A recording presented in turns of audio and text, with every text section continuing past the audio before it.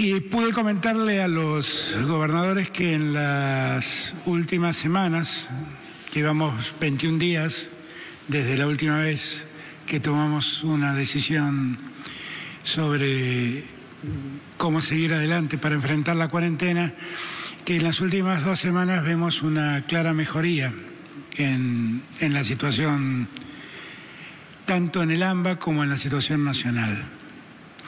Lo que vemos, hemos verificado que en las últimas dos semanas la cantidad de casos de contagios han caído sensiblemente, aproximadamente un 30%. Y eso eh, nos da muchas expectativas de que si seguimos cuidándonos, si seguimos priorizando el distanciamiento social y los cuidados de los que siempre hablamos, podremos mm, más rápido que tarde ir terminando esta etapa de la pandemia.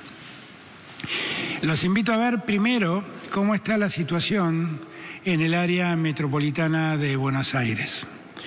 Allí vemos una caída muy clara que se viene sosteniendo desde la semana 35 en adelante y esa caída del registro de, contagios eh, también se expresa respecto de la caída en la cantidad de fallecimientos. Si uno mira los resultados del resto del país, excluyendo el área metropolitana de Buenos Aires, lo que vamos a observar es un crecimiento de un pico muy sostenido que alcanzó su punto culminante en la semana 41 y a partir de allí hay una caída sostenida de casos, tanto de contagios como de fallecidos. Eso nos permite decir que el trabajo focalizado que realizamos en las 10 provincias más afectadas ha rendido buenos resultados. Pero también nos permite afirmar que el trabajo no ha concluido, que todavía tenemos por delante un trabajo de cuidado cierto y que la pandemia está lejos de haber sido erradicada. Eh, nosotros hoy Vamos a, respecto de, lo que decidimos el 20 de diciembre último, vamos a mantener en un distanciamiento sanitario preventivo y obligatorio solamente a dos ciudades, Bariloche en Río Negro y Puerto Deseado en Santa Cruz. Eh, estamos siguiendo con atención lo que pasa en otras provincias, como lo que pasa en Corrientes y Chaco, donde vemos un crecimiento de casos producto, por lo que estamos viendo, de una mayor cantidad, de una mayor cantidad de testeos, pero que nos da cierta tranquilidad porque la cantidad de unidades de terapia intensiva utilizadas siguen siendo todavía muy bajas y la capacidad instalada sanitaria está muy lejos de ser colmada en ambas provincias. Tenemos que seguir con atención esas dos esas dos provincias puntualmente porque los casos en algunos lugares de allí han crecido. Eh, por lo que pude hablar con el gobernador de Corrientes, ese crecimiento tiene que ver con una mayor cantidad de testeos y también lo que hemos visto es que las unidades de terapia intensiva utilizadas en esas provincias siguen siendo eh, relativamente bajas. Con lo cual, Creo que tenemos que seguir adelante con el esfuerzo que estamos haciendo, sabiendo que el problema no ha sido superado. Yo insisto en este punto. Hemos seguido, hemos tenido, se los he dicho muchas veces, la ventaja de ver lo que ha ido ocurriendo con la pandemia en el hemisferio norte. En este momento el hemisferio norte está soportando una segunda ola con una cantidad de contagios realmente alarmante.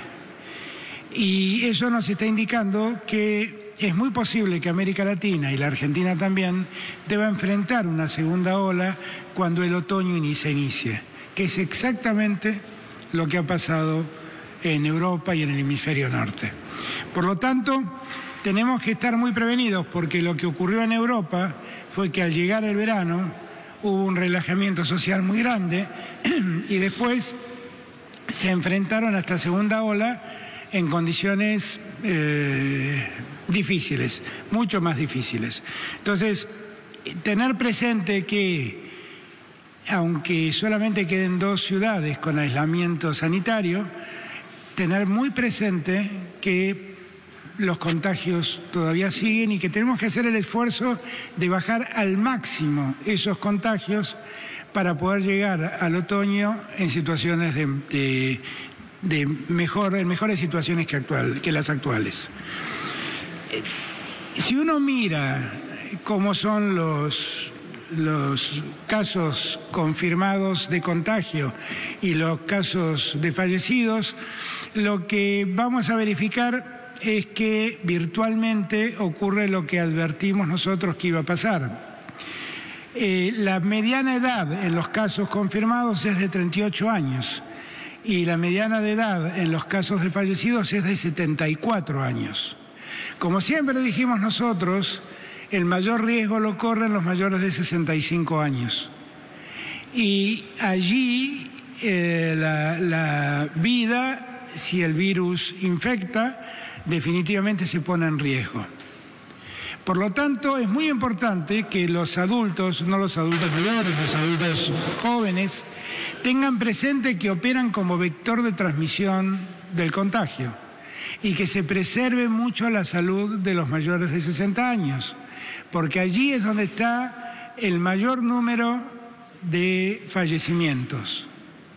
También es cierto que cuando uno ve que la mediana de edad de, los fallecidos es de 74 años, eh, uno advierte que finalmente ocurrió lo que temíamos, que cuando el, el virus contagiaba gente mayor de edad, y si esa gente además su salud está debilitada por enfermedades prevalentes, el riesgo se potenciaba y esto es lo que estamos definitivamente verificando en nuestro país. Con lo cual, les pido por favor que tengamos en cuenta que la pandemia no ha concluido, que los cuidados deben seguir y que cuanto más cuidado tengamos y menos nos relajemos, eh, será más fácil poder enfrentar el, otoño.